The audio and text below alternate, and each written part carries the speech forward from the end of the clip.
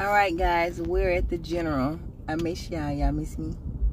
But I'm gonna go ahead and do this deal. This um, ten dollars off forty. So we're gonna see what they got because all these stores are kind of empty. So let's go in here and try to improvise a deal. If you know nothing's in the store.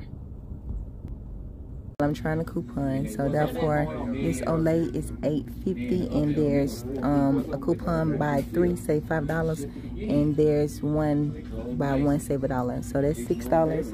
So we got four, and I got these two brushes here. So let's go get the, the remaining items. All right, y'all, please be sure to scan your items to see what qualifies. So we're looking for it look like it's on this aisle and it's not. All right guys the next item will be the Febreze car clip. Yeah I know I don't got enough of these so let me scan and see which one I want. Hey guys I got this item here and I'm trying to equal $40 you know and the stuff is so high and I want my $40 to attach because you know these coupons is weird. So this is what we're looking like this Olay smells amazing. So this is what the cart's looking like. Um, my subtotal was $40 on the app. So you can't always trust the app. So we're going to see what the register say. But my out of pocket is like $22 with tax, I believe. So I see you at the register.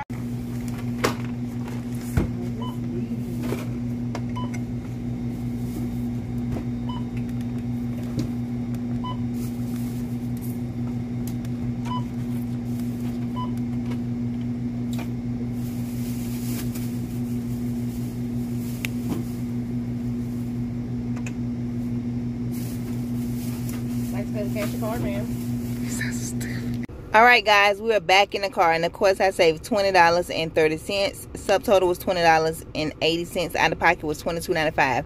I think this was a good deal because we, you know, we low in bath soaps. Plus, my daughter fitting ready to go back to college, so I'm trying to pack her stuff up. So, I think I mastered what I'm supposed to do, you know.